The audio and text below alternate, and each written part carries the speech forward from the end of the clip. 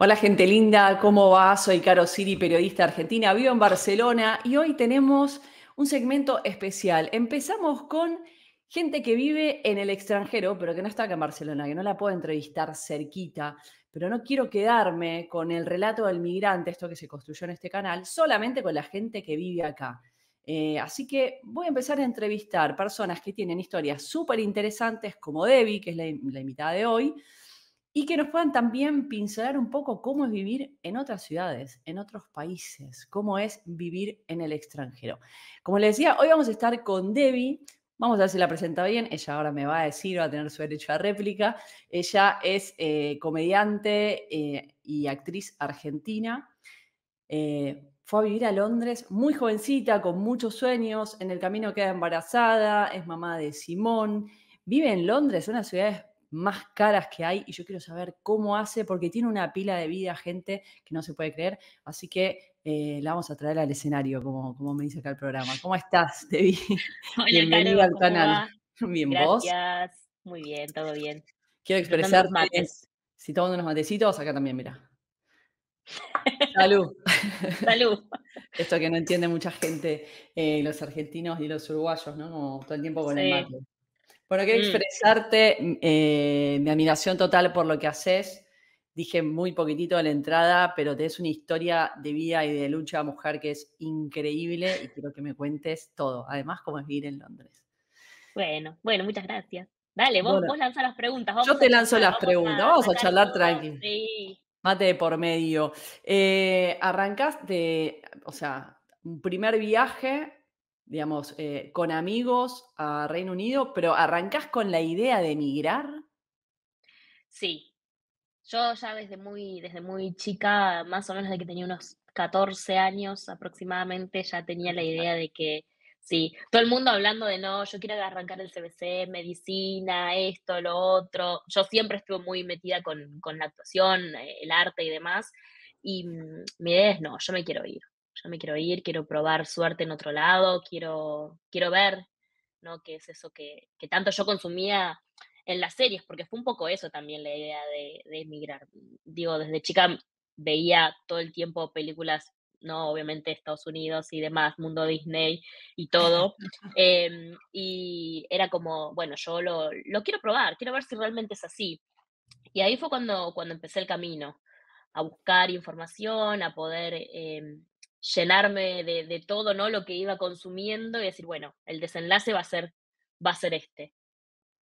¿Pero qué tenías en mente? ¿Era Londres de una? No, no, mi idea eh, era Los Ángeles. A Los Ángeles. No, no, Los Ángeles, claro, porque era como que yo veía todas las películas, viste que todo, toda la industria sucedía ahí. Conocía muy poco de, de, Londres, eh, pero la realidad es que empecé a estudiar inglés, entonces como que me fue llevando un poquito más. Y justo sé que después conocí una amiga que ella eh, dijo, bueno, yo me, le, negaron la visa para ir a, Estados Unidos y dijo, bueno, yo me voy a Londres. Y ahí como que empecé a ver un poco más, ¿no? Lo que ella mostraba eh, por las redes y dije, oh, bueno, esto está bien, no... No, no, no lo vi en tantas pelis. Claro, tal cual, sí, porque aparte eh, era como que esa confusión, viste, que ahora lo tengo un poquito más claro, no, no tanto, pero un poquito más claro cuando es el inglés americano y el inglés británico. Entonces, claro, en ese momento cuando era más chica, para mí era todo lo mismo. Em, no, tenía idea, no prestaba atención tampoco a lo que se mostraba de fondo en las películas, era como solamente era Los Ángeles, porque es ahí donde, donde vas a poder actuar. Y después con todo el tema de, de las visas que, que empezaron a, suceder después de las Torres Gemelas, fue como, no tengo la plata para, para pagar una visa. Así que me las rebusqué y, y resulta que, bueno, tenía la posibilidad de aplicar para el pasaporte italiano. Bien, y eso te da una entrada a Europa que hasta ese momento, hoy no podrías tampoco. Hoy tendría que ser con visa, porque acá ahora en Reino Unido pusieron una visa igual, ah, en Estados Unidos que se llama Global Talent, que es para todas aquellas personas que están relacionadas con, las artes. Con las artes. ¿Y vos ya estudiabas teatro? O sea, ¿estudiaste antes de ir o te fuiste a Londres sin, sin estudios? No, sí, estudió desde que tengo 10. ¿Dónde estudiaste? Contame, pues yo estudié teatro muchos años en la escuela de Raúl Serrano, que para mí es como todo un orgullo. Estudié, eh, bueno, primero en un centro cultural que era del barrio, yo soy de zona oeste. Y ¿De qué parte? Eh, de Villa Tesey, de Hurlingham. De Hurlingham. Y en ese momento se había inaugurado el centro cultural de Villa Tesey y tenían distintas, em, digamos, actividades todas gratis. Entonces empecé ahí en teatro, eh, porque bueno, era gratis, hice folclore también ahí. Y después ya un poquito más grande, ya cuando tenía mi trabajo, pude empezar a pagarme clases ya en, en lugares un poquito de nombre más, digamos, reconocido, ¿no? Eh, hice mm, comedia musical con Reina, después, después de la carrera con, con Agustina Leso, en el Teatro 25 de Mayo, eh, que era, el 25 de Mayo era una extensión del San Martín, pero estaba en Urquiza. No estaba tanto en, en, Capital. O sea, estaba en Capital, pero no en la zona céntrica. Em, y sí, haciendo obras muy under. Pero bien, te fuiste con, con formación, porque tenemos una formación, bueno, vos me dirás estando ahora en Londres, la formación de teatro argentina es muy buena. Sí, sí, sí, sí. Acá también es, es bastante, eh, son bastante comprometidos con la carrera, también tiene una duración de cuatro años y demás, pero bueno, para, digamos, una persona bueno, creo que también para un residente, ¿no? De, acá es, es un poco cara. Sí, ¿no? por o sea, claro, sí, comparado con lo que nosotros pagamos en educación privada, porque Agustín Aleso, o sea, es privado, no es que fue el... para Yuna hice, hice el, que ahora es una, eh, la audición, viste que te hacían audicionar. la hice también. Y, y ahí te, decían, bueno, si vos pasás o no. Y llegué hasta ahí porque empecé con todo esto de, del viaje y dije, no, o sea, no me voy a comprometer otros cuatro años más eh, porque yo me quería ir. ¿Y te fuiste con amigos? E ideal, o sea, plan friends, eh, pero sí, Fue muy, fue muy loco eso porque mm, eh, son, son mis amigos con los que estuve ahora en, Nueva York y mm, fue muy loco porque nosotros somos amigos, nos conocimos en, Reina con una de con, con Steffi, mi amiga, en la escuela de Reina Rich, para quien no conozca. Sí, en la escuela Reina Rich. Y después em, a Juani lo conozco a través de Steffi, porque yo la hice Steffi entrar a trabajar donde yo trabajaba en ese momento. Y mm, estábamos en una situación muy complicada los tres. Eh, a los tres nos dejaron más o menos en, en, el mismo día. Mi amigo se había recibido de abogado y los padres le dijeron, bueno, te regalamos un viaje. Em, y con mi amiga dijimos, es el momento, o sea, nos separamos, no tenemos nada, que, o sea, no tenemos el trabajo ideal, no estamos trabajando algo que nos guste, es ahora. Y en cosa de seis meses lo planeamos y nos fuimos. ¿Con qué edad ahí? 24 yo. Bien, una edad donde puedes soltar amarras ahí rápidamente y arrancar. Sí, sí, sí, sí, tal cual. Y con búsqueda, entiendo, ¿no? Como de muchos sueños, eh, y llegan a Londres y ¿qué pasa? ¿Qué pasa? Le mirá a los 24 años a Londres. ¿Fueron con, con dinero, con, con, poco ahorro? ¿O fueron justitos? ¿Venís de familia de dinero? Porque seguramente, y esto lo dijiste en un no. que hiciste, la gente dice, ¿cómo hace? ¿Cómo hace? No, ¿De no, qué. Vive? Todo, todo, me lo gané sola. Eh, cada, cada logro que tengo a nivel profesional o, o, o de mi vida personal, eh, obviamente sí tengo el acompañamiento, pero no la economía. O sea, no, no tuve el, el, el, sostén, por eso, viste que al principio dije, eran cursos gratis, que hacía el, y cuando pude empezar a trabajar, ya em, em, empecé a pagarme algo más eh, profesional. Em, pero no, nosotros vinimos en ese momento con eh, mil libras, eh, que no era mucho tampoco, fue como alquilar la habitación y empezar a buscar trabajo de lo que sea. Y no era muy consciente en realidad, o sea, a esta edad obviamente no lo haría, yo soy otra persona, ¿no? ¿Ahora qué edad tenés? 36. Y como que digo, no, no lo haría porque fue muy arriesgado, o sea, estaba muy arriesgado, pero a nosotros no nos importaba, estábamos felices. Está eh, bien. A los 20 sí, es inmortal. Sí, no, no, no era como, viste, nos podemos llevar el mundo por delante que, que, va a estar todo bien. Y creo que de cierta manera nos ayudó un poco para no, no frenar ese deseo de hacerlo. Claro. Y bueno, ¿cuál fue el panorama con el que, con el que se encontraron? ¿Consiguieron trabajo rápido? ¿Se empezaron Sí, bueno, eh, eh, Juani, que él venía como de viaje, no post graduación de haberse recibido de abogado, él estaba mucho más relajado. Mi amiga y yo sí nos pusimos a buscar trabajo, conseguimos trabajo enseguida, eh, porque es una realidad que sucede acá en Londres. Hoy está un poco más complicado, pero porque cambió toda la situación. Pero en ese momento eh, era muy fácil conseguir trabajo, porque hay, hay muchas oportunidades en este país. A la gente no le gusta, no le gusta el clima, a veces, viste, puede como ahí renegar sobre un poco las personalidades de los británicos y demás, pero yo siempre sostengo cada vez que me preguntan que es un país que da muchas oportunidades y tenés muchas ofertas y vos podés desarrollarte eh, siempre y cuando hagas las cosas bien y tengas algo que te avale, ¿no? En este caso yo tenía mi título de, de, artes dramáticas, por así decir. Em, lo, lo, vas a conseguir. Lo que pasa es que ellos buscan que seas, que seas profesional, que seas serio en lo que estás haciendo.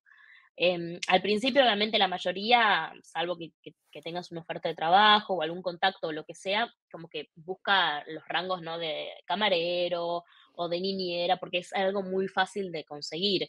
Y nosotras conseguimos trabajo enseguida, la semana ya estábamos trabajando. Che, ¿te valió el título de arte dramático de Argentina ya? ¿Te lo tomas en valió, cuenta cuando tuve, cuando...? sí, lo tuve que hacer, em, tuve que pelear un poco, porque claro, está todo en español. Em, y acá hay algo que se llama Spotlight, que el Spotlight es como, si vos estás en Spotlight es porque sos un actor real, profesional, o sea, eh, si no tenés los estudios, ellos te piden que por lo menos tengas tres o cuatro créditos en donde vos o tengas algún texto hablado o tu cara aparezca o algún, como que no, no sea lo que hiciste como, no por menospreciar, pero de extra, porque es como que es pura y exclusivamente para actores profesionales porque ahí se ponen castings importantes. ok. Eso es lo que yo noto que tiene como la industria acá, como que vos podés ser de donde seas, pero si vos realmente estás formado y tenés, ¿no? Tu, tu aval de, de- de lo que estudiaste y lo que hiciste, tu trabajo y demás, la oportunidad la vas a tener como todos. Después, bueno, en el camino puedes ir, ¿no? Perdiendo en la audición o lo que sea, porque, bueno, es un personaje que hay que cumplir requisitos. Pero mm, eh, me sirvió, tuve que pelear un poco porque me decían, no, pero no, no se entiende. Es como, bueno, o sea, no voy a pagar un traductor para un título que en realidad, o sea, no, no es que no vale, sino que nada, acá lo tenés, tenés la página web, chequeá la página web de Aleso en su momento. Ahora no sé si se puede, pero en su momento vos la podías poner en inglés. Entonces, como, mirá, fíjate, porque te piden, viste, que tengas la, la carrera hecha o, Claro, tres o cuatro años estudiado. Entonces, em, pero, pero sí, te, te, te lo valoran, te lo, te lo te lo. Sí, tenés que explicarlo porque, bueno, hay que explicarlo, pero sí. Che, Debbie, ¿y cómo pasaste de esa primera y maravillosa juventud de llegar con todos los sueños a Londres eh, a ser mamá? Eh, Porque bueno, creo que eso te cambia todo. sí, sí, sí, Simón cambió mi vida por completo. Mm, a Simón, eh, yo quedé embarazada en el 2016, él nace en noviembre del 2016 ¿Con qué edad vos, mm, perdona? Era muy jovencita también. 28, Re nena. Sí. Pero siempre, siempre quise como, como ser mamá joven. Porque mm, sí, porque me imaginaba, o sea, yo mm, respeto cualquiera de las dos opiniones, ¿no? Ya sea quieras vivir tu vida primero y después dedicarte a tus hijos, em, a, a familia y demás, o ir acompañando, ¿no? Simón a mí me ayudó mucho a, mm, a madurar en ciertos aspectos, porque hay otros que no los dejo. Hay, cuando yo estoy con mis amigos soy esa Debbie de los 20, de los 15, o sea, Qué pero bueno. cuando estoy con él es como que mm, siento que me dio mucha madurez en un montón de, de aspectos, eh, no solo como mamá, sino como persona, también como, como emigrada, porque fue en, en- en su momento una patita floja. Yo en el 2018 em, vuelvo a Argentina, viví so- sos menos mamás, sos mamá, volviste a Argentina. Sí, me sentía muy sola, eh, estaba en ese momento con el papá de Simón, pero él trabajaba mucho viajando. Entonces, eh, nosotros con Simón estábamos solos. Y mm, como vos dijiste, sí. 28 años eras chiquita, o sea, 28 todos los amigos ¿no? que teníamos, nadie tenía pensado ser padre. En Eh, otra, tus amigos. sí, y se, no es que se alejaron, pero bueno, ya no se podía compartir muchas cosas de, de lo que solíamos hacer. Entonces me, me encontré muy sola. Simón nació en noviembre, que es pleno invierno, o sea, todo gris, todo horrible. Durísimo. No, sí, fue súper duro. Yo decía, ¿qué, o sea, ¿qué hago? Con la única persona con la que hablaba era con él porque el papá estaba de viaje, o sea, él se iba de domingo a jueves de viaje y mm, quedábamos los dos. Vos hablando con Entonces un fue bebé. como, sí, no, no, fue como, bueno, ok, eh, hijo, aprendí a hablar, no sé, crecí ya, acompáñame algo. Y mm, nada, y decidí volver, pero porque creía en ese momento que necesitaba tener el apoyo de mi familia. Eh, y la verdad que me ayudó a darme cuenta de que está muy bien tener a la familia cerca y, acompañamiento y demás, pero no cambio. Hoy en día digo, mm, o sea, no, no lo volvería a hacer porque yo acá tengo otras comodidades que en Argentina no podría tener. Inclusive después, o sea, de, todo esto, ¿no? De haber vuelto de Argentina, em, a nosotros nos dan el diagnóstico de autismo de Simón, y yo no conozco muy a fondo cómo es la situación en Argentina con el tema de discapacidades, pero sí veo que la gente siempre está como ahí, viste, en, la lucha, em, con las obras sociales, con las prepagas, y la verdad que yo estando acá, no es que me resultó fácil, porque no, pero él tiene un montón de beneficios que yo no sé si en Argentina los podría llegar a tener. O sea que vos quedas embarazada eh, en, Londres, volvés a Argentina porque necesitabas contención. Pero decís, no, me vuelvo a Londres, porque la verdad que mi vida en Londres estaba más copada, sin tener el diagnóstico de Simón. Sí. O sea, te enterás a la vuelta. Y cuando te enteraste del diagnóstico, ¿no te agarró nuevo el eh, me pego a la vuelta again? No. No, no, de hecho. Súper segura eh, ahí. No, sí, en ese momento el papá me dijo, volvemos, estábamos juntos. Eh, ¿El papá es argentino también? El papá es argentino y yo le dije, no, yo no voy a volver. No, no, o sea, no, no voy a volver. Y ahí eh, fue como, no, ya, ya nos quedamos acá, era también mucho mareo para él, o sea, nosotros como adultos lo podemos gestionar de una manera, ¿no? A veces, porque no todos, em, pero digo, para él, no, ir, venir, como, no, es mucho, ya está, ya quedémonos acá, y menos mal que así fue, porque, porque yo estoy muy agradecida con lo, que, con lo que el país hoy en día me da para Simón. Primero contame antes de qué te da Londres para Simón, ¿qué es lo que viste en Argentina que dijiste no? En ese momento me acuerdo que em, yo intentaba buscar trabajo y no salía nada. Y yo fui como, chicos, pero vengo de Londres, tengo un, inglés excelente, o sea, yo en mi vida había siempre trabajado secretaria, secretaria ejecutiva, recepcionista en multinacionales, como, tengo, tengo experiencia. Y tuve una sola entrevista que fue por teléfono, o sea, ni siquiera llegó al cara a cara. Y, y nada, era como cada vez que iba a hacer las compras era 100 pesos más, 100 pesos más, 100 pesos más. Y yo sin trabajo, o sea, el único que trabajaba era eh, el, el papá de Simón en ese momento.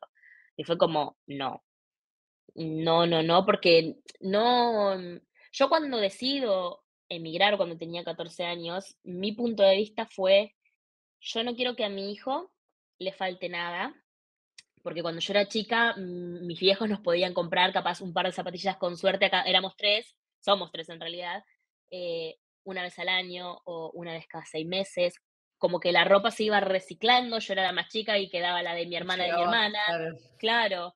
Em, nunca nos faltó para comer y demás, pero no tuvimos la posibilidad de decir, bueno, quiero esto, sí, anda, eh, me, me, quiero ir con mis amigas, toma. Entonces, yo la clase media ajustada Argentina. Exacto, yo lo mm, como que lo, lo, absorbí mucho y dije, no quiero tener que estar lidiando con eso de que no le puedo comprar un par de zapatillas, o sea, que le quedan ajustadas y tengo que esperar a tal fecha por el aguinaldo o lo que sea. Em, darle una buena educación, que pueda tener sus vacaciones. Eh, con mi familia nos fuimos una sola vez, los cinco de vacaciones, y eso fue todo. Eh, no, se podía sostener. Y obviamente es distinto, ¿no? O sea, no es lo mismo cinco que, un hijo, pero bueno, como que los miedos quedaban, estaban todavía. Y cuando yo empecé a ver todo eso en Argentina, cuando volví con Simón, dije, no. No, no, no. O sea, sí, me encanta tener a mi familia cerca y a mis amigos, pero también la realidad es que todos tenemos nuestra rutina. Y por más de que sí, vos decís, no, levanto el teléfono y tengo una amiga, acá también lo puedo tener. O sea, acá también puedo tener a, una amiga a la que mm, levanto el teléfono y digo, che, te necesito y viene. No tengo a mi mamá y a mi papá y a una de mis hermanas que quedó allá todavía, pero es como que desde mi lado yo empecé a ver que mi familia ahora era Simón. Eh, o sea, mi familia principal, ¿no? Mamá, papá, hermana, sí, pero mi, mi vida ahora era es sobre Simón. claro. Claro. al que le tenés que proveer una buena vida es a Simón. Exacto. Bueno, y llegás y te dan el diagnóstico, eh, tiene que haber sido durísimo, entiendo. Con, eh, tan pocos añitos, jovencita. Sí, yo eh, cuando, me lo, cuando me lo dijeron mucho como que no entendía, ¿viste? O sea, sí conocía eh, autismo y demás, pero claro, uno se queda a veces como con esas imágenes de lo que es el autismo y en realidad es literalmente es todo un mundo. estamos con em el cliché, ¿no? Exacto. Yo cuando lo, lo veía Simón decía, pero él no, no hace esto, pero sí tenía otras actitudes. Entonces, em, nunca, lo, nunca negué su, su diagnóstico, nunca lo, lo sentí afectado en mí, porque mi, o sea, mi pensamiento siempre era y es, ok, ¿qué podemos hacer? No para revertirlo, sino para que él pueda ser año tras año más funcional, ¿no? Para que pueda, digamos, eh, vivir las experiencias que cualquier niño de su edad vive sin él sentirse afectado. Y además que no entendía un poco tampoco lo que me hablaban, porque era como todo un idioma nuevo, jamás en la vida había estado en una situación, salvo cuando estaba embarazada, que fue aprender un vocabulario nuevo, y con esto fue lo mismo. Era como, no, y que claro, capaz que me estaban dando la peor noticia y yo como, ah, Eso te iba a decir, ¿cómo, cómo te, cómo te llevas con el inglés? Porque es, es entender el idioma del lugar más, a mí me pasó acá con el catalán, que cuando tenés algo empiezan con los diagnósticos, empiezan a hablar entre ellos y vos decís, no sé si me estoy muriendo o es una pavada, ¿por qué hablan entre ellos? ¿Qué dicen? tal cual, ¿Tenías buen nivel de inglés? Eh, no, bueno, yo inglés em, había empezado a estudiar cuando tenía 14 años, ya te que fue ahí cuando, sí, cuando dije, me tengo que empezar a preparar por algo, por las dudas. Y mm, entendía, pero obviamente uno dice que entiende, pero cuando te vienen con estas situaciones que son tan puntuales, vos decís, no, no, no, no entiendo, no entiendo nada. Y emocionalmente, ¿no? Como que la cabeza se cierra, deja de escuchar, claro. Era como, yo, yo siempre les decía, viste, cuando me preguntaban sobre Simón y cómo se comportaba en ciertas situaciones, yo le decía como, mira, yo te lo voy a decir como me sale. Te pido por favor que si hay algo que lo digo mal, me lo corrijas y me digas tipo, no lo digas así porque, viste, no sé, puedes, puedes estar como agravando algo o restándole importancia. Entonces, Claro. em, como que los médicos a- acá súper bien me fueron guiando y me, y me hacían preguntas, viste, como si no entendía algo, como que me daban ejemplos decir, hace esto o esto, entonces ahí yo les podía decir, y ya después lo fui, lo fui como aprendiendo, y hoy en día cuando tengo que hablar de él, obviamente hay un montón de cosas que, que me faltan a nivel vocabulario, pero ya puedo ex- hacer eh, como un paneo para, el- para, para todas las personas de lo que a él le sucede. Bien. ¿Y qué es lo que me, que- me quedaste ahí por contar? Beneficios que te dio Londres para Simón, que dijiste, no, sí, este es el lugar donde nos tenemos que quedar. Acá, digamos, tiene un montón de beneficios que en Argentina no. Bueno, em, el principal fue todo lo que, todo lo que ofrecen. Simón hoy en día va a una escuela eh, que es pública y es pura y exclusivamente de peques con diagnóstico con autismo. Ok. Entonces, ¿Pública implica em, gratuita? Perdona que te vaya preguntando, hay cosas que sí, parecen obvias, pero no. Ok. sí, eh, nosotros no pagamos absolutamente nada, ni materiales, ni comida, nada de nada. Y como estas escuelas, em, no, no es que la- vos las encontrás con facilidad, no, no es que, por ejemplo, acá hay como cinco o seis escuelas en, en donde yo vivo al- alrededor. Ok. Em, esta donde va Simón está como dentro de lo que sería la localidad nuestra, pero un poco más alejada. Entonces, eh, yo tengo una persona que todos los días lo viene a buscar a él y me lo trae, como si fuese un microescolar, pero es como un remis. Ok. Es un auto que cargan dos nenes más y Simón, hay un asistente que los acompaña durante el viaje y él eh, y el chico que maneja. Y todos los días 8 y 20 yo tengo el auto acá esperándolo, lo lleva a la escuela, lo deja en la escuela y Es después a las 3 y media, 3 y 20 lo tengo de vuelta acá. Y todo eso lo paga la municipalidad, o sea, el council, que es la municipalidad, digamos, em, de acá, que obviamente rebaja, ¿no? de- de- del Estado. Em, y ahí él tiene todo, tiene sus terapias, eh, terapias del habla, la terapia ocupacional, tiene natación, hacen yoga, tienen... Em, Sí, tienen actividades que son preparadas para, para ellos, o sea, la escuela está toda preparada para ellos, para que puedan ser más funcionales, tienen un, un aula que yo esto siempre lo cuento porque me, me parece que debería de implementarse en todas las escuelas, em, es un aula que está preparada como si fuese un monoambiente, ¿no? Ujú. Tenés tu Ah, cama, sí. tu cocina, tu, em, tu lavarropas. Entonces a ellos les enseñan todo lo que sería la rutina de una casa, ¿no? Bueno, te levantás, haces la cama, te vas a lavar los dientes, limpias el baño, limpias los platos, pones ropa a lavar.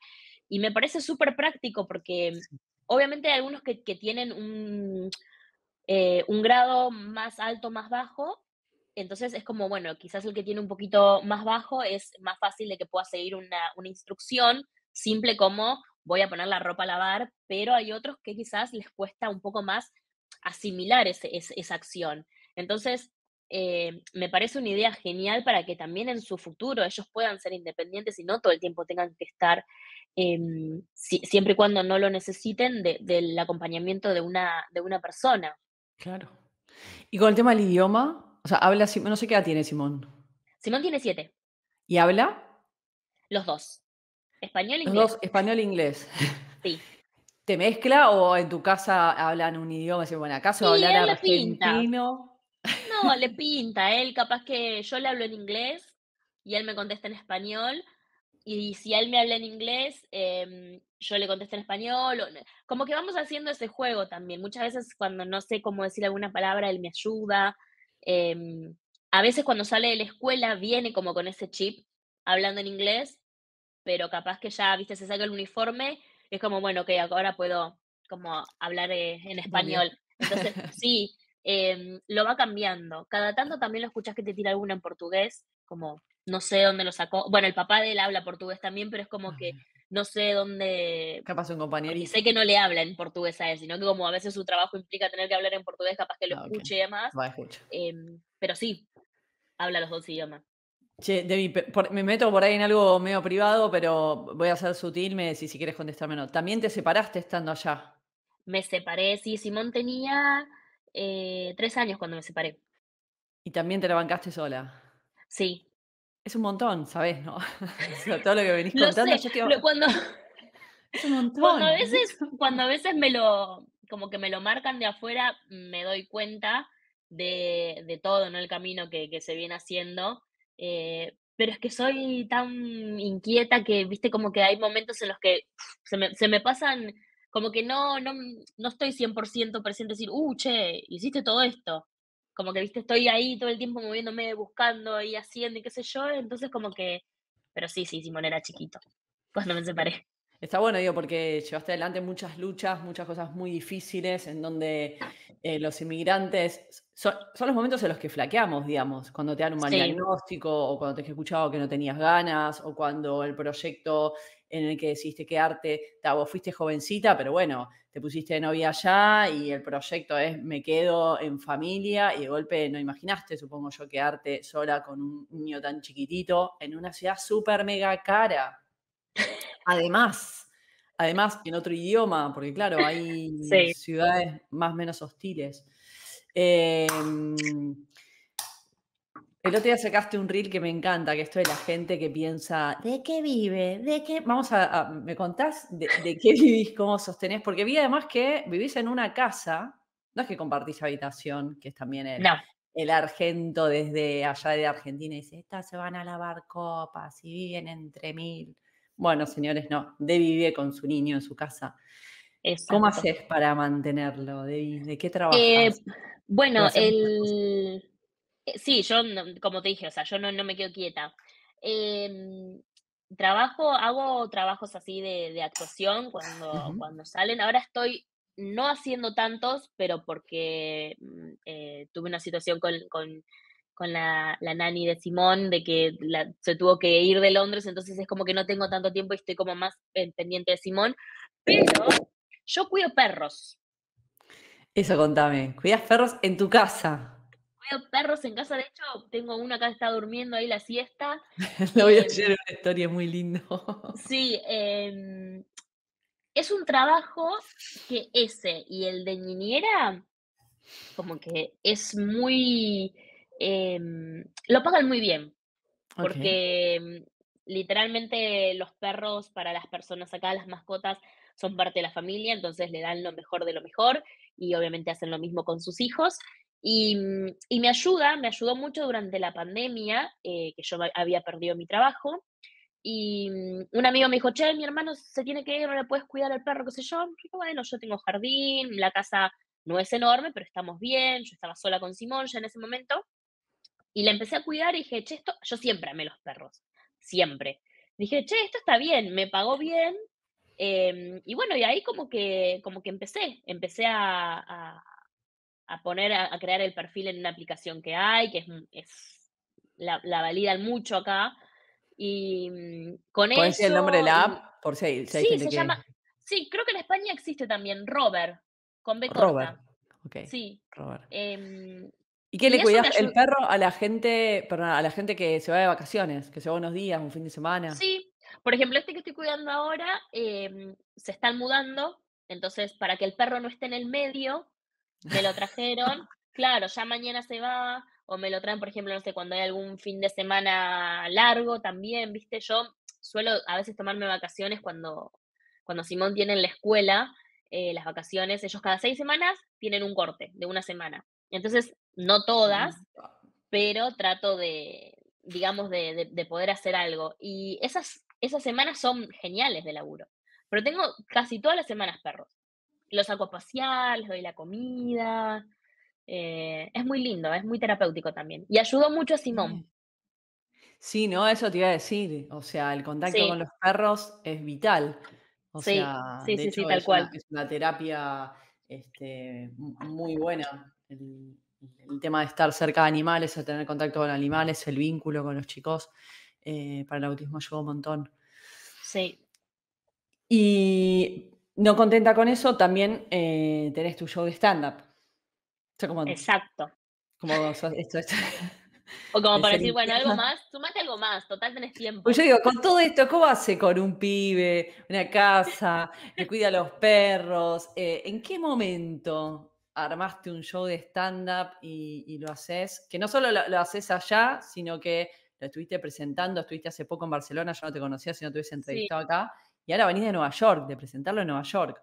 Sí. Eh, explícame cómo, Debbie, tenemos que hacer un manual de, me estoy perdiendo un par de cosas. Bueno, eh, hay algo que tienen que saber de mí que es algo de, que, o sea, que desde muy chica. A mí cuando se me mete algo en la cabeza, yo voy.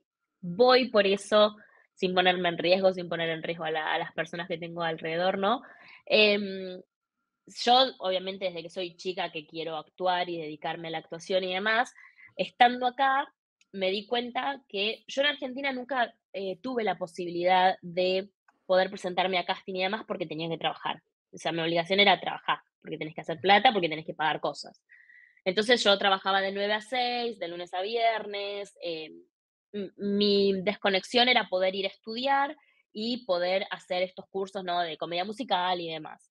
Em, pero nunca mm, estuve con agencias como estoy acá y, demás. Entonces, cuando pasó todo esto del COVID, me puse a pensar y dije, ok, me quedo sin trabajo, lo de los perros lo puedo ir manejando yo, ¿no? Si, si quiero trabajar o si no, si estoy disponible o no.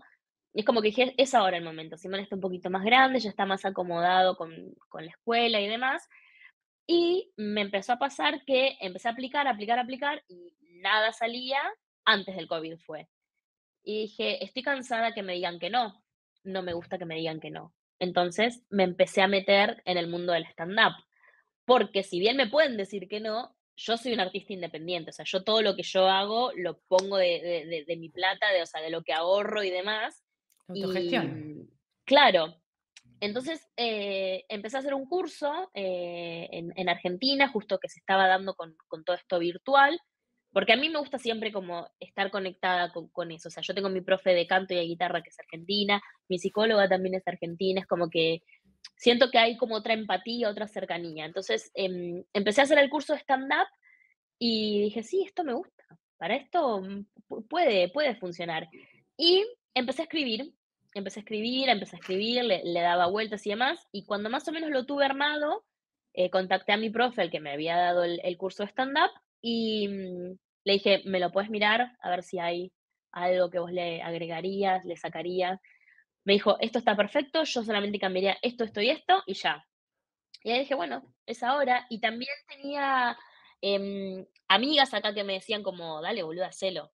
O sea, sacalo, mandate.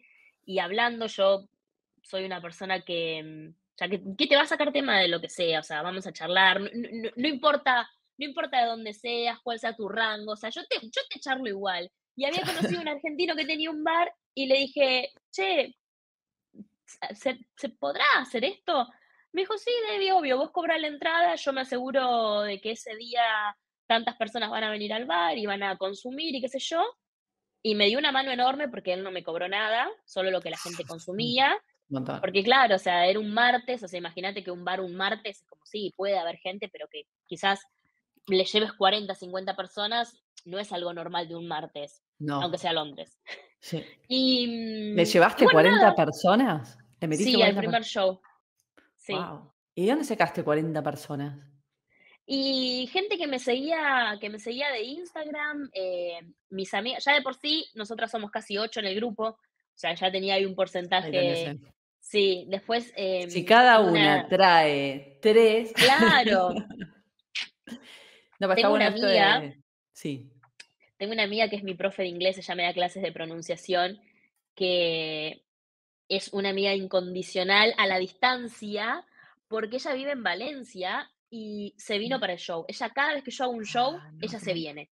Qué grande. Esas amistades. esas amistades son lo todo. No, sí. Y también se vino y, se trajo una amiga que también vive acá la chica, pero que la chica, o sea, yo no, la conocía, ella tampoco me conocía a mí. Y, se fue armando. Pero dato importante ahí, vos ya tenías, venías trabajando en una comunidad en Instagram.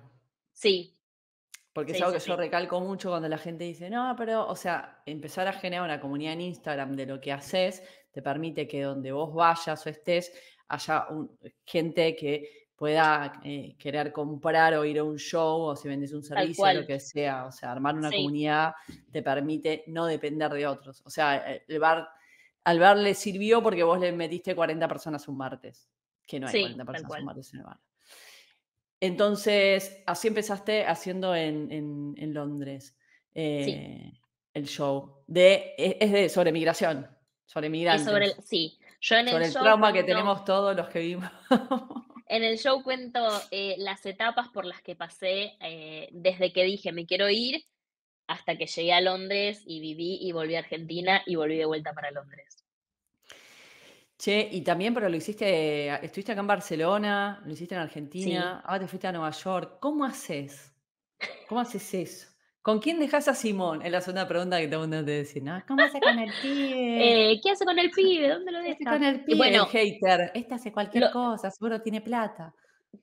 Ojalá, ojalá, haría más viste Que, viste que el hateo te resuelve todo muy rápido. Sí, sí, sí, porque no, no, no, ven, no ven el fondo, pero no importa. Eh, bueno, eh, lo de Buenos Aires se dio que em, Simón tiene vacaciones, unas vacaciones de primavera ahí por Pascua y demás, y empecé a mandar mails a productoras teatrales en Argentina, y Néstor, un genio de producciones Gana, me dijo, dale Debbie, vamos a, conectarnos, contame bien la idea, em, y hicimos una videollamada también, porque obviamente él estaba en Argentina, yo estaba acá, y me dijo, no, sí, me, parece una idea copada, porque, claro, obviamente uno, eh, hacer comedia no es fácil. Eh, hacer reír no es fácil, todos tenemos humores totalmente distintos, hay muchos grados muy altos, muy bajos, em, y algo que me marcaba es como que hoy en día todo el mundo piensa que es gracioso porque eh, dice teta culo. Como que todos van a lo mismo, ¿viste? Como que ese es, ese es el punto. Y claro, y, o sea, y mi rutina, mi unipersonal no tiene nada que ver. O sea, obviamente sí, te tiro alguna que otra mala palabra, pero no es relacionado al humor básico de, bueno, no quiero decir humor básico, pero es como, no es que yo te voy a decir, no, porque me apretaste de los 90. Claro, exacto. Y, mm, y, bueno, y como que empezamos a laburarlo y, mm, y, yo tenía muchas ganas, ya me había visualizado haciendo mi eh, stand-up en el Paseo de la Plaza y él labura en una sala del Paseo de la Plaza y, se empezó a dar y, mm, salió súper lindo. Ese fue, eh, la verdad, producido, eh, o sea, mi idea y demás, pero producido por, por él. Y mm, el resto lo, eh, yo mm, mando mails. Encuentro un mail de algo y, mando. Estoy trabajando mucho con, las embajadas y los consulados, porque yo sé que... Te, ayudan en algo económicamente o gestionas todo vos y yo estoy en el espacio? Ellos me dan el espacio. las embajadas no pueden cobrar una entrada. Eh, pueden, sí, si vos querés y, demás, ofrecerte un lugar capaz donde estar, no todas igual, em, pero por ejemplo, yo cuando fui a la de Nueva York, yo ya tenía planeadas mis vacaciones y dije, voy a intentar hablar con alguien del consulado de la embajada, mandé mail, mandé mi dossier, mandé mis videos, me lo aceptaron enseguida, o sea, la embajada de Nueva York, el, consulado fue, Claudio fue, pero recontra mil amoroso con todo, me, todo el tiempo, viste, bueno, dale, armemos, hagamos, me mandó video de cómo era la, el, consulado y demás. Em, en Irlanda me pasó que la embajadora me llamó y me dijo, Debbie, si necesitas quedarte, te damos una habitación. Eh, y, me, pude quedar en la residencia del embajador. Y, así va sucediendo, pero bueno, ellos como, como entidad no pueden cobrar entrada. Pero, tampoco es que te garpan el aéreo ni te pagan claro, eso te lo gestionas vos. Sí, o sea, sé que hay algunas embajadas que eh, tienen como ciertos formularios para que vos puedas aplicar, por ejemplo, artistas argentinos, ¿no? Desde que están en Argentina puntualmente, como que pueden aplicar y bueno, ellos hacen como una selección y ahí pueden que te den algo, como para promover, viste, la, cultura argentina en el resto del mundo, pero no suele suceder siempre. y el público sí, lo ponen ellos, porque la movida de para que la gente claro. vaya lo hacen ellos. Exacto, ellos se encargan de promocionarlo, de ponerlo en, su página de Instagram o en su newsletter de, del, consulado que se envía todos los meses. Entonces está bueno porque desde mi lado yo lo veo así como que tengo alcance a nuevas personas. Porque es muy raro que vos vengas a mi show y no te guste. Eh, no lo hablo desde un lado del ego, es que te sentís identificado, porque yo lo que trato de hacer es ir a público. El de Argentina lo modifiqué cuando fui a Argentina, pero en el resto del mundo, o sea, yo estuve en Madrid, estuve, en, Barcelona y demás, es como que la gente se siente identificado, porque quizás no fue 100% como yo lo viví, pero pasa. Pero más o menos, claro. Exacto. ¿Cuáles son las cosas así que crees que aunque vos estés, hayas emigrado a Londres y yo a Barcelona, hayamos vivido en común? No te pido que me hagas el show, pero ¿qué cosas crees que nos pasa igual? Vos tenés que pagar la entrada si vos querés que No, por eso te digo, no me hagas el show. No, no, las etapas no, pero decime qué, qué te pasó, por ejemplo, que seguro nos pasó a las dos. Yo te, digo una que creo que, pasa, que es, eh, por haber entrevistado a mucha gente para el canal, pero es el, primer año, el nivel de embelezamiento, todo es perfecto, todo es lindo, todo funciona. Eh, Esa es, una de mis etapas. Claro, todo es maravilloso. Claro. Yo decía que en Barcelona se podía pasar la lengua por el piso de lo limpio que era y hoy no pasa, ni el dedo pasó hoy, después de vivir unos años. Pero está toda esa cosa de todo es perfecto acá. Claro, romantizar. Exacto, bueno, sí, esa es, esa, es una, esa es una de las etapas que yo digo, bueno, como que los primeros seis meses, seis, nueve meses, eh, vos estás como, no sé, ay, mira, voy a sacarle foto a London ay, ah, sí, el Big Ben, ay, sí, mira, este monumento, ¿qué? Que no tenés ni idea y como que todo es maravilloso y demás y hasta en cierto punto decís, ay, no, pero vivo con 10 personas, no pasa nada, está todo bien. no me joden, somos amigos. ¿Pasaste esa etapa de... Sí. ¿Con, cuántos ya sí, éramos 12. 12. Uy, no, pero es un montón. Claro, eso porque tenías 20. No, no, no. No hay forma de que mi sistema nervioso tolere vivir con tanta gente. No, hoy no. Eh, con suerte lo tolero a Simón. Y porque está bien educado. O sea, él termina de comer, va, lava sus platos, o sea, como... Claro, no, es que es, un montón, es un montón. Che, y también en medio de todo esto que, que haces, tenés un canal de YouTube. Manejás el Instagram también. Sí, el canal de YouTube lo tengo un poco abandonado. Abandonado, sí, lo vi. Sí, porque eh, en realidad en su momento, eh, o sea, mi, mi idea es vos utilizás todas las plataformas, los medios posibles para llegar a alguien. TikTok, Instagram, Facebook, YouTube. Alguien te, alguien te va a ver. Alguien de Netflix, si está viendo esto, me, va a ver. Alguien va a em, llegar. Eso está muy bien. Claro, y, mm, y empecé, eh, cuando me volví a mudar acá, eh, empecé como a armar esto de em, los datos, los trámites que tenés que hacer para venir a Londres. Después, con todo el tema del Brexit, me di cuenta de que era un chino hacerlo, porque ya no era, tenés tu pasaporte, es súper fácil venir, ya está, tenés que hacer esto, esto, esto, básico. Entonces dije, no, no tengo más ganas de hacerlo, pero en ese momento como que la gente em, fue el boom, digamos, de Reino Unido, porque muchos sabían que era como si no venís ahora, no venís. Entonces, como que ahí me empezó a crecer mucho el Instagram. No tanto YouTube, pero sí Instagram. Entonces, como que la gente me preguntaba y qué sé yo. Y de repente un día dije como, "Mm, pero yo no quiero, porque la gente me empezaba a pedir asesorías. Y yo digo, imagínate que mm, no te puedo asesorar, no te puedo asesorar en nada con todo lo que estoy viviendo. O sea, no. Y como que cambié, y justo se dio eh, el cambio con la pandemia, y que yo estaba aburrida y empecé a subir videos como más, eh, en ese momento no estaba el formato reel, lo subía tipo post, y mm, como que empecé a subir videos más cómicos y demás, y bueno, ahí como que siguió creciendo un poquito, pero también se detuvo porque la gente en realidad quería información de cómo venirse a vivir a Londres. Y dije, bueno, no, ya está. No, o sea, después quise también hacer una especie de blog en, en mi YouTube, pero no tengo, no tenía el tiempo. Era como, si tengo que resignar algo, voy a resignar a lo que me lleve más tiempo. Y me llevaba más tiempo sentarme a editar un video y modificar esto que estoy diciendo. Em, cuando, cuando estaba grabando, muchas veces al principio estaba como, eh, ¿viste como el Diego? Sí. Eh, y era como, habla bien, ¿qué te pasa? O sea, lo tenía escrito todo y no, y no me salía, no me salía, era como, uy, no, qué embole tener que, tener que ponerme a editar este. No, y dije, no, no, no, Se olvídate, salí ahí. superó. Sí, no, dije, me quedo con Instagram y hace poco también arranqué con TikTok, como para decir, bueno, más o menos pero comparto contenido parecido, pero sí. Pero tenés multipresencialidad. Ahí está en pantalla tu Instagram para que la gente te pueda seguir. Eh, tirá los chivos de dónde te podemos ver, dónde, si quieren enterarme, cuándo vas a hacer show y dónde.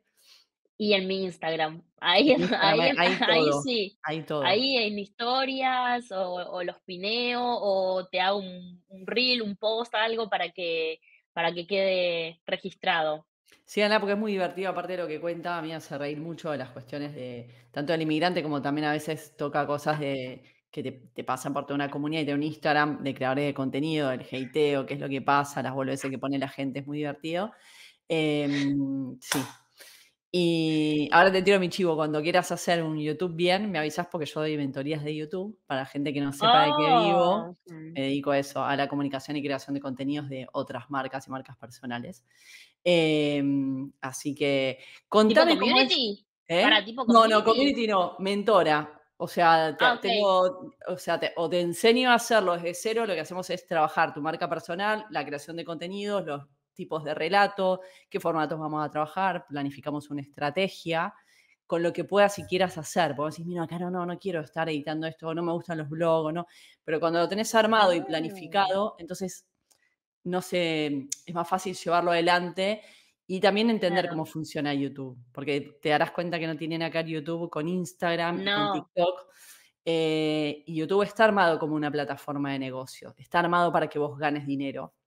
De hecho, te claro. recomendaría volver a YouTube, porque en, al- en algún Ah, momento, no sé si trabajás con marcas, eh, pero las marcas están mirando, de- de- ¿no? no, todavía no. Tenés que trabajar con marcas en tu Manifestando, Instagram. Sí. Y claro, porque es otra fuente de ingreso, trabajar con marcas en tu Instagram y las marcas están empezando a virar mucho a, a YouTube porque en YouTube quedan forever. O sea, YouTube es un buscador, entonces yo tengo el primer video que subí hace tres años y pico y la gente hoy lo sigue viendo. Mm, Entonces, eh, por eso está no bueno. pasa Lleva de moda, claro.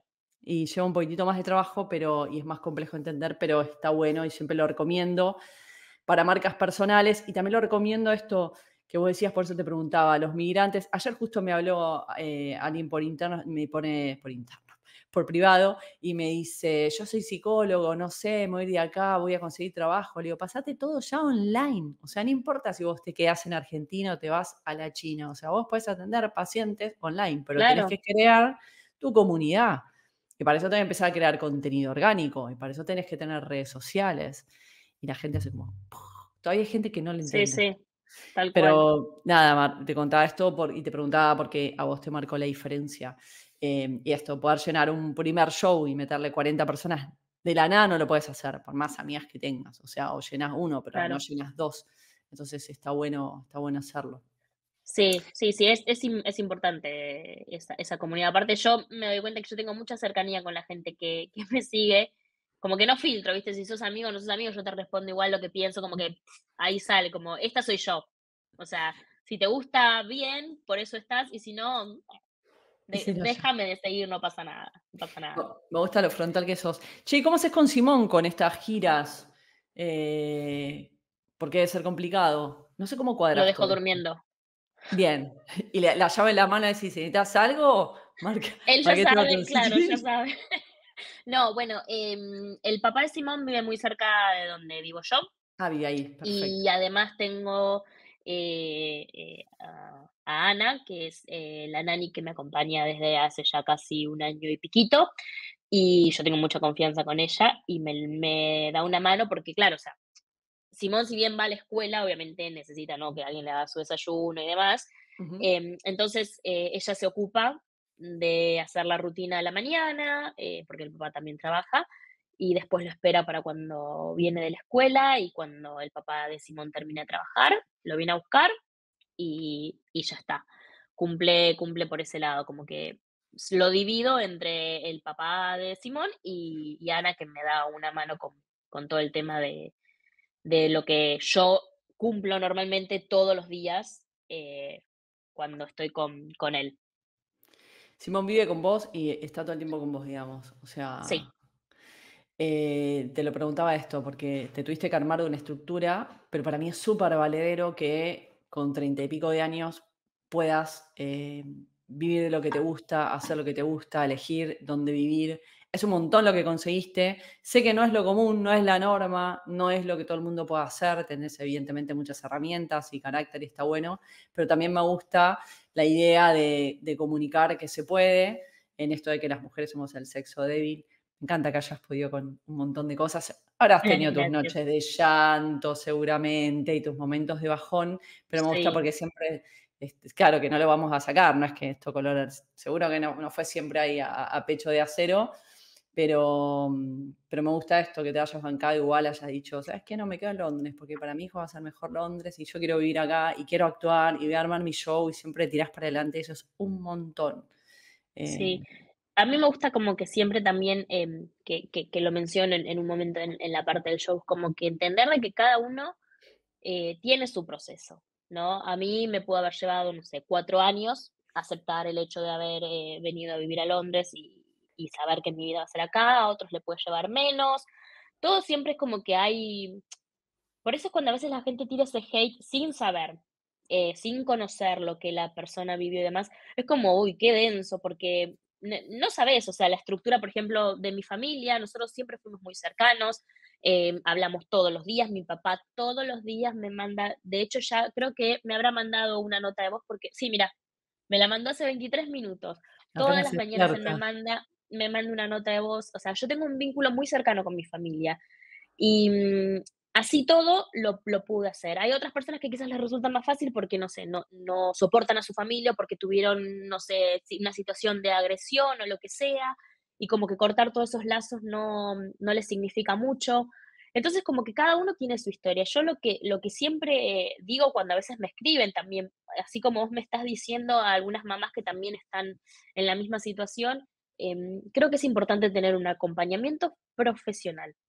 Yo empecé terapia hace mm, cuatro años más o menos, que fue cuando me separé, tres, cuatro años, al tiempito de haberme separado, y para mí fue un cambio. Y, tener personas que nos rodeen desde un vínculo realmente sano y que eh, nos ayuden a, hacer más. Porque si yo no hubiese tenido a mis amigas acá en Londres que me decían, Debbie, pero o sea, tenés el lugar, tenés el, el unipersonal escrito, tenés la gente, o sea, ¿qué es lo que te está frenando? El miedo.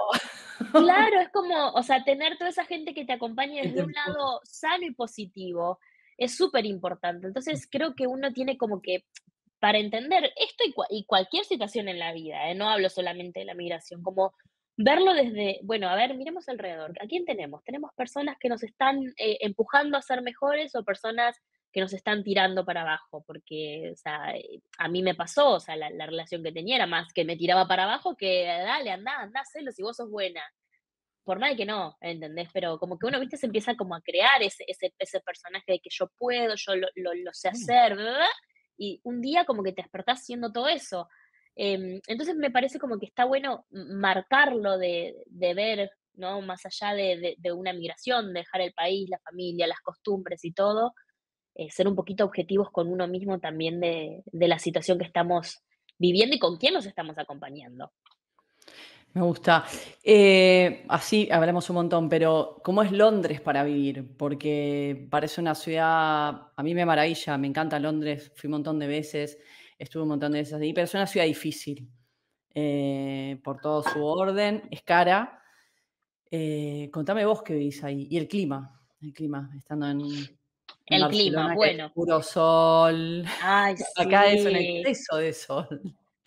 Qué lindo. Eh, bueno, a mí hoy en día el clima no me afecta. Esa es la realidad. Ya hace muchos años que estoy acá. Aprendí a hacer las cosas, salvo que haya una tormenta muy fuerte, lo aprendí a hacer con lluvia.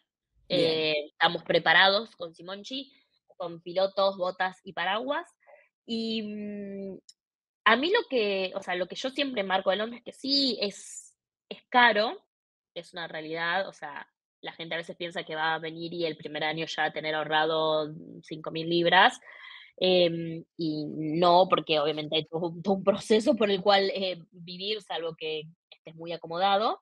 Pero, mm, pero a mí Londres mm, me encanta como ciudad. Es cara, te vas acostumbrando.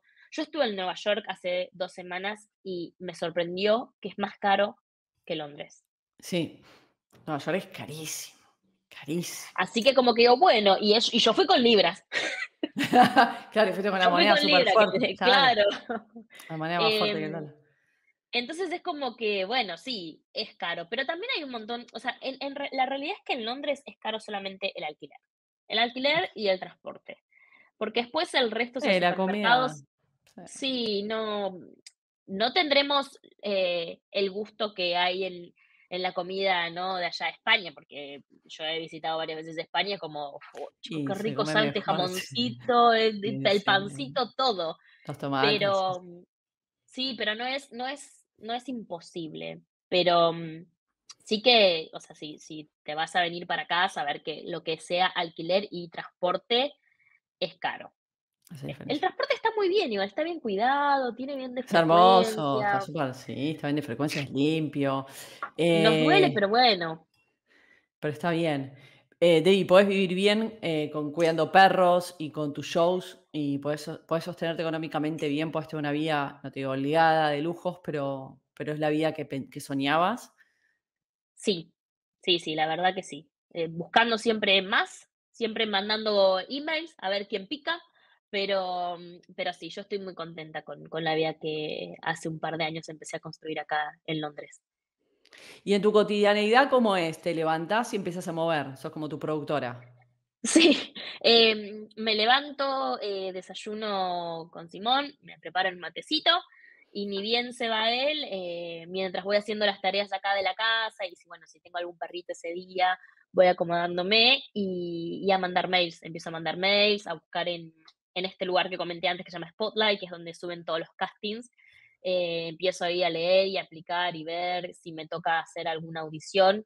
Hoy en día, usted la hace mucho em, por video. O sea, que vos te grabás y la mandás, entonces me voy preparando si, si me responden o algo, como bueno, en este momento, todo esto hasta que son las tres y cuarto, que ahí como que tengo que desconectar y empezar a preparar la merienda para el chiqui, y después ya como quizás es más emails, no tanto de estar grabándome y demás, porque lo tengo a Simón acá correteando por toda la casa. Es imposible hacer. Pero, mm, pero sí, o a la noche. A la, cuando es más para Argentina o para otros lugares, me pongo más capaz 4 o 5 de la tarde eh, de acá y ahí arranco como para lo que sea fuera de, fuera de Europa.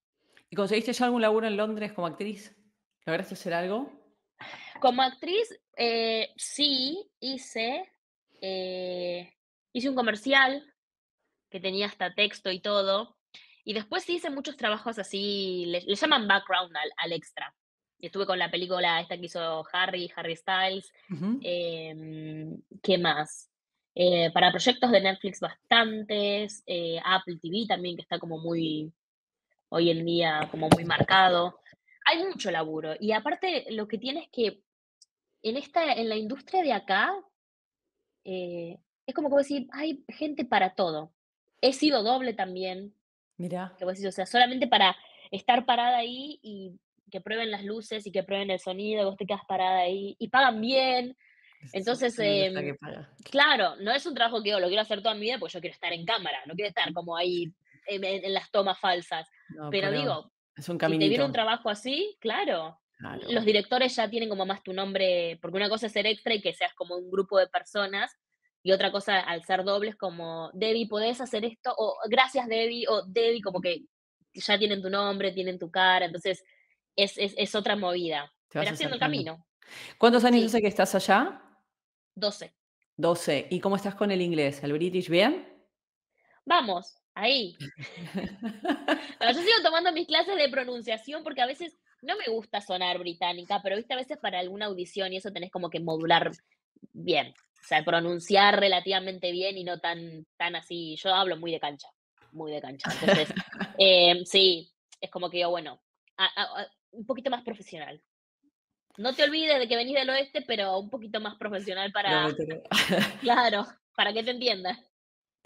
Debbie, un millón de gracias por tu tiempo. Eh, me encantó todo lo que hablamos. Espero que para vos que estás viendo te sirva. Suscríbanse al canal si todavía no lo hicieron. Los leemos en comentarios. Voy a estar respondiendo, Debbie, si querés responder también. No los de mala onda, los de mala onda los paso por alto, los, elimino. No. pero los que quieran saber algo, que quieran preguntar, Debbie puedes estar chusmeando los próximos días y contestar también. Pero agradecerte nada por tu tiempo, por compartir tu historia de lucha, de superación, bien argenta. Este, y me gusta esto de que las mujeres que pueden, que salen al mundo y, hacen igual y siguen cumpliendo los sueños. Eso, eso me encanta. Así que te mando un abrazo gigante. Avísame cuando estés por Barcelona, que te voy a ver. Dale. No pierdo la próxima. Igual te estoy Gracias por haberme invitado. Muy lindo todo esto. Me encanta poder eh, compartir ¿no? y que, y que se, se, sigan como escuchando y reproduciendo historias eh, no solo de, de celebrities y demás, sino como del argentino promedio común que, que le está pasando. Gente como uno, pero bien dicho, bien de abajo. Gente, gente, como, uno, así nomás. Muchas gracias, gente, por estar del otro lado. Nos encontramos el próximo sábado a las 19 horas, como siempre. Eh, les, digo siempre a las 19 horas, porque, pero esto es un segundo video, así que en el próximo video ahora tenés que estar atento porque hay más de un video por semana. Nos encontramos. Que tengan linda semana. Chao. Adiós.